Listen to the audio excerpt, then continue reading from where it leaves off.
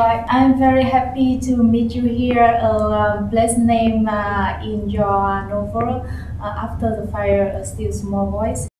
Oh, well, I'm very honoured. Um, before I wrote the book, I'd, I'd actually been to, to Vietnam. I came when I was 18. Oh. Um, but of course, it's nothing like what I wrote about. Um, so it's yeah, it's lovely to be here. Yeah. Very hot though. Yeah.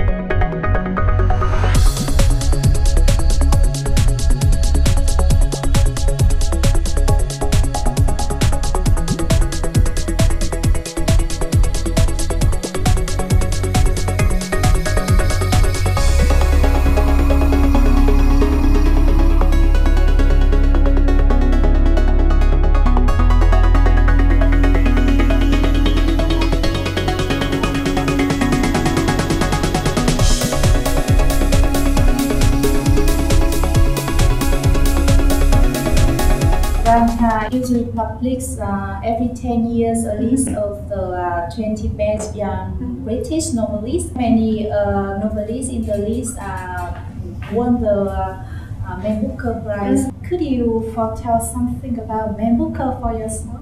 that would be lovely, but we'll see. We'll see. I think the main thing about being on the list is um, these are writers from the past years that I, I grew up reading and and that I wrote my first novel reading, and, and it's amazing to be kind of put among them. It's wonderful. Uh, the novel After the Fire, A Still Small Voice mentioned to uh, the sorrow and um, obsession of many generations in a family. Well, they're um, very, very loosely based on my Australian family. Um, are three generations my grandfather, my uncle, and my cousin. Grandfather's now dead, but my uncle and cousin still live on the sugarcane farm that um, appears on the front of the book. Um, and they're very macho.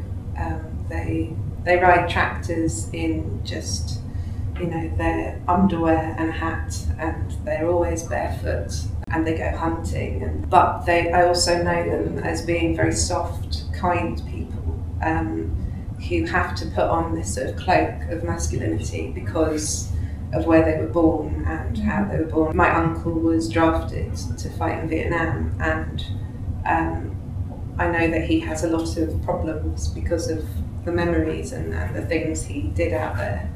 Um, this is something that he sort of passed on to his son, and my grandfather before him um, fought in Korea, and so that there's sort of all this strange sadness passed down through generations, sort of dripping down.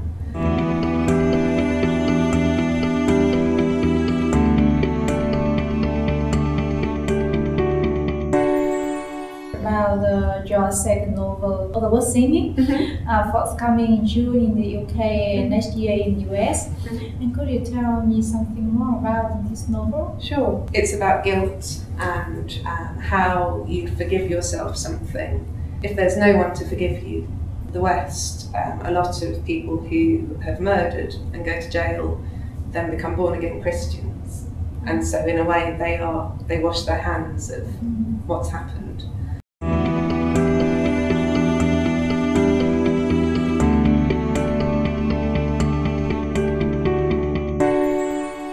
You are running um, a small independent uh, bookshop in Peckham.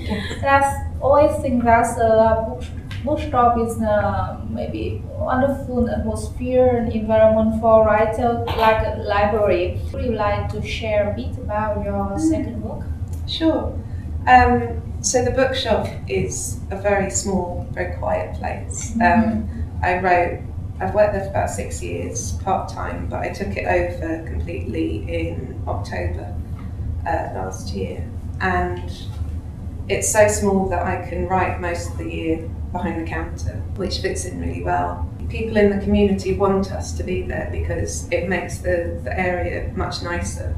Um, cafes spring up around it and clothes shops, and it, it kind of means there's more to do in the area because it was a very residential area before. We're supported by our local community, um, and especially around Christmas time. Um, when people and occasions that people need to buy presents, we really work well as a, a gift shop for good literature.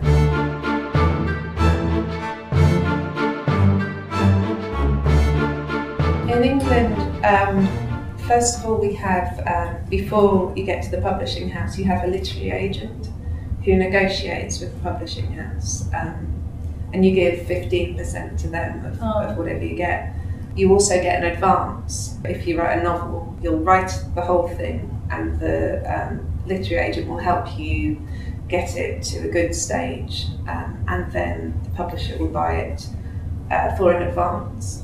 And then by the amount of books you sell, that comes off your advance. So you have to earn out your advance before you get what we call royalties, which would be 10%, like he said. Publisher uh, will bring you some advance money for uh, writing uh, for the future book. What happens if you cannot uh, continue to, Yeah. to write more? Yeah, um, that happens quite a lot, especially with non-fiction.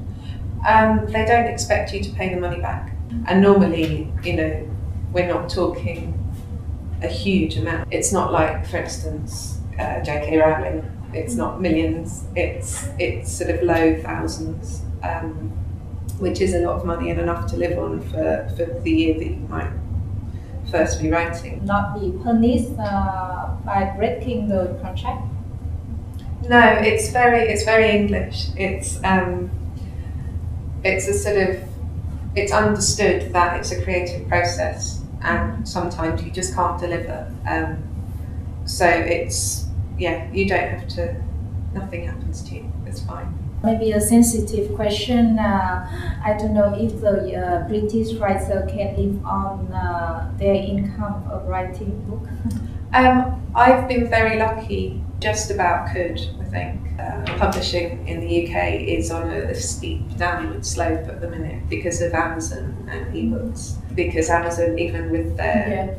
they, they discount so heavily that you know the, the royalty that publishers get is so small. So not many people can. You know, J.K. Rowling can do what she likes, um, Mhm. but that's the exception, really. Um, I, I could live off it and um, be very very frugal.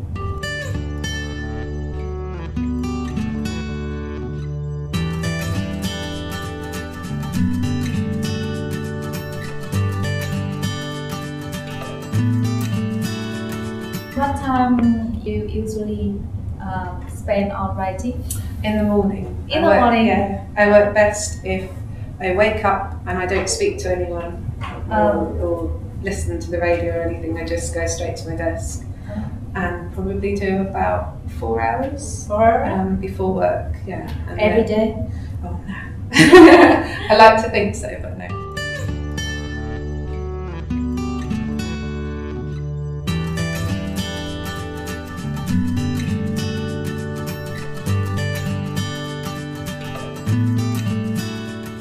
What uh, make you feel the most difficult uh, in writing?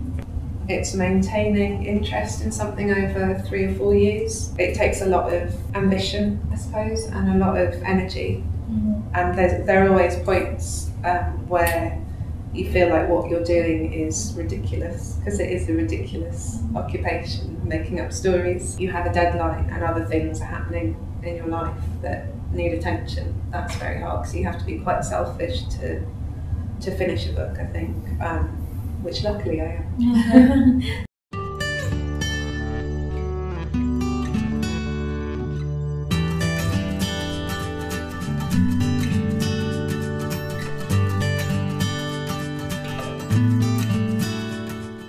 when did you uh, start to writing? When I was about 16, 17, I wanted to be a painter, but was not very good. But I enjoyed the feeling I got out of making something.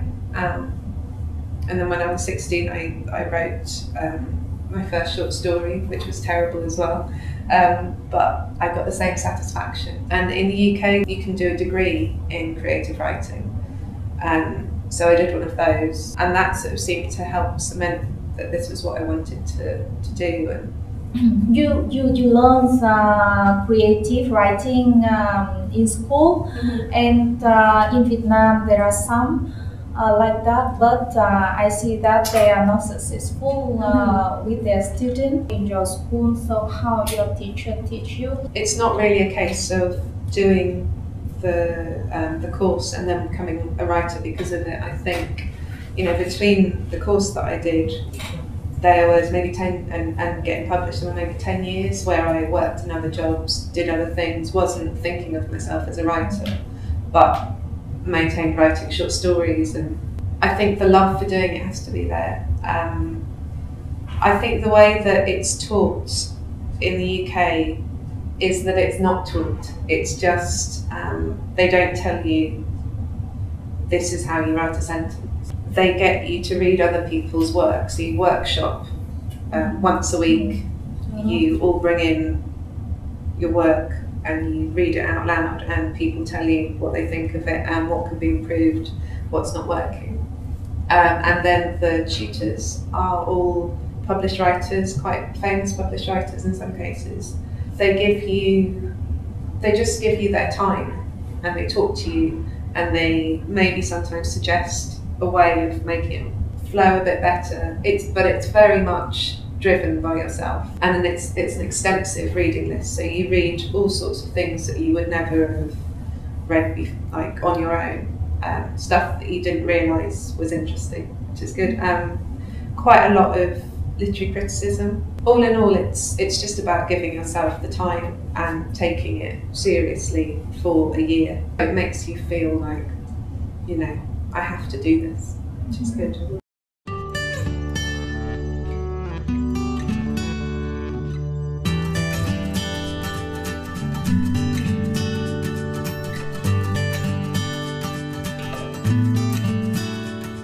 Meeting the readers directly is a way to hear their idea and uh, know about their taste. And uh, how often do the writers in written uh, attend the uh, event to meet the readers? all the time, constantly. I mean, there's a huge literary um, event culture in in London. You can go to a literary event every night of the week in London, um, and you get big writers going to bars and and just reading their work and doing Q and A.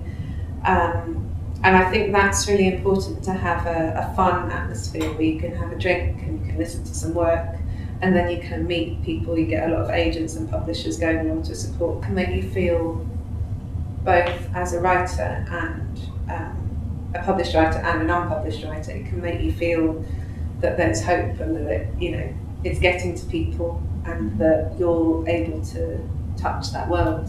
How many um, times a year do you usually meet your uh, readers in all the events? oh, uh, at the minute about once a week. Not once a week. but, um, but it depends uh, in the sort of life cycle of the novel uh, around publication. Um, it's all the time, and also because they know where to find me in the bookshop, they come in and talk to me, um, and sometimes sometimes give me their manuscripts to read, a long a long journey. Your second novel is coming, and about the third novel. The third novel, yeah. You, you are writing? I am, yeah. yeah. Um, the first novel was set in Australia and a little bit in Vietnam. Second novel, half in Australia, half in England. And the third one will all be in England. Um, and it is based on um, my English grandparents who had a very strange relationship when I knew them. Um, my grandmother was an alcoholic, and my grandfather um, had Parkinson's disease. Um, so it was very, very quiet and shaky, and, and that's all I knew of them. And I um, came across this photo album um, once they died of their honeymoon.